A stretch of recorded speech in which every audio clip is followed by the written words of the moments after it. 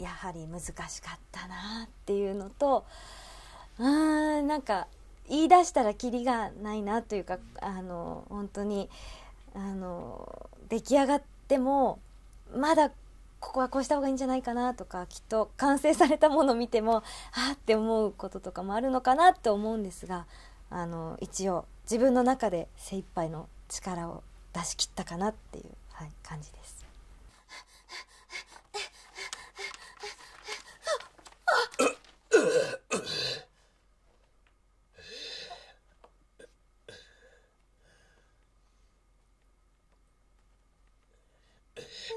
死にてえのかお前は。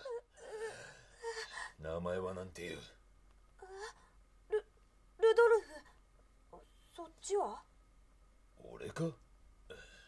俺の名前はいっぱいあってな。いっぱいあってな。変な名前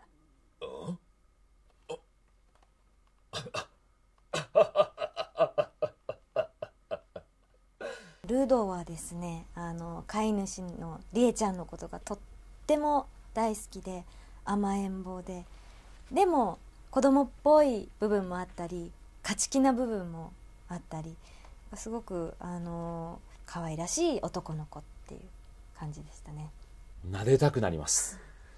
いっぱいあってのは特にちょっとふわふわしてるんですよ。ふわしてた。ね、うん、ふわふわしてふさふさなんで触りたいって思ってました僕はふわふわこここうやりたいですね。ふわふわふわってこうちょっとさ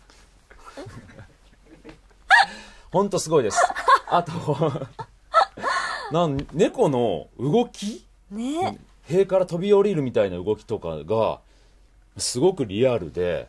そうなんですよ、ね、えー、と目の動きとかもなんか人間と同じぐらい感情が伝わってくるような造形だったので、細かいですしこれはすごいなと思いました、うん、日本でこういうアニメは見たことないなと思いましたね。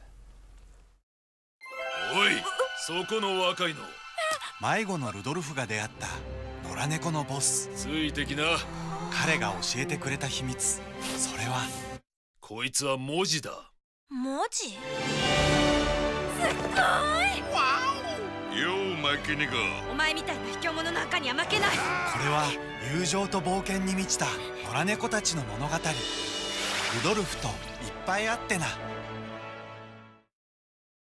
映画館で前売り券を買うとルドルフのふわふわマスコットがもらえるよ